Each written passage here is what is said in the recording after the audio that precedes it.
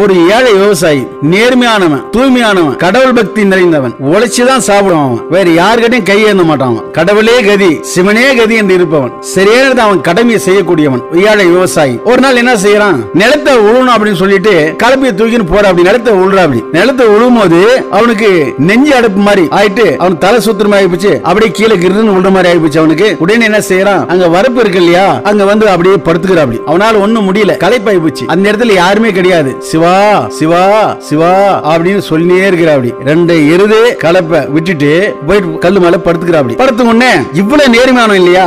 எப்ப பார்த்தாலும் சிவா சிவா என்று சொல்லக்கூடியவன். பகவான் பாக்குற சிவபெருமான் என்னைக்குமே நம்மளையே நினைச்சிருக்கிறாரே அப்படின்னு சொல்லிட்டு பகவானே மனித ரூபத்துல வந்து அந்த ஏரியெல்லாம் ஓட்டுறாரு. அந்த கழனி எல்லாம் ஓட்டுறாரு. ஓட்டிட்டு முடிச்சிட்டு உடனே இவனுக்கு கொஞ்ச நேரம் படுத்த உடனே ஒரு தெளிவு வருது. தெளிவு வந்த உடனே சரி போய் நம்ம கொஞ்ச நேரம் நம்முடைய வேலையை செய்யலாம் அப்படின்னு சொல்லிட்டு எழுந்து வந்து பாக்குறான் நிலம் பூரா எல்லாம் உழுது இருக்காங்க ஆச்சரியமா இருக்குது அவனுக்கு. என்ன இது? நம்ம கொஞ்ச நாள் ஓட்டணும் எல்லாமே உழுது இருக்குது ஆச்சரியமா இருக்குது. இது யாராவது செஞ்சிருக்கோம் அப்படின்னு சுத்தி முத்தி பாக்குறாரு. ஏர் உழுதாரு இல்லையா? அவர் திடீர்னு மறைஞ்சிடுறாரு. உடனே ரெண்டு கையும் மேல தூக்கின்னு வணங்குறாரு. சிவபெருமானே மனித உருவத்தில் வந்து எனக்காக வேலை செஞ்ச எம்பெருமானே சிவனே நான் என்ன உனக்கு நான் செஞ்சு நானு எப்போதும் உன்னே நினைச்சுன்னு இருக்கிறேன். உன் பேரையே சொல்லி இருக்கிறேன் வேற என்ன நான் செஞ்சிருக்கேன் உனக்காக நானு? சிவபெருமானே அப்படின்னு சிவனை நினைச்சு கும்பிடுறாரு. அடியார் யாரு இருந்தாலும் சரி அவருக்கு ஒரு பிரச்சனை அப்படின்னா எம்பெருமான் சும்மா இருக்க மாட்டார். அந்த அடியார்களை காப்பதற்காக ஓடி வருவார் எந்த ரூபத்துல வராரு சொல்ல முடியாது. பிச்சைக்காரனா வரலாம் இல்ல ஒரு சாமியாரா வரலாம் இல்ல ஒரு ஏழையா வரலாம். எதோ எந்த ரூபத்திலே வருவாரு? வந்து நமக்கு செய்ய வேண்டிய செய்வாரு. இது உண்மை.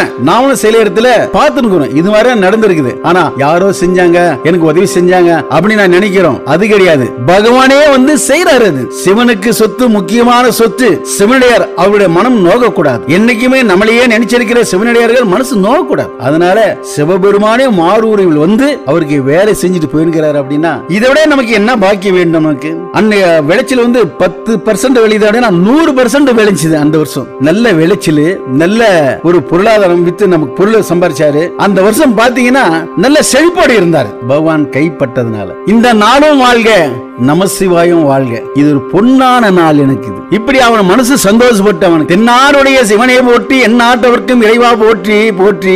என்ன கருணையே கருணை உனது. உன் திருவடியிலே போற்றி போற்றி. பொற்பாதமே போற்றி போற்றி. அப்படின்னு விழுந்து வணங்குறாப்படி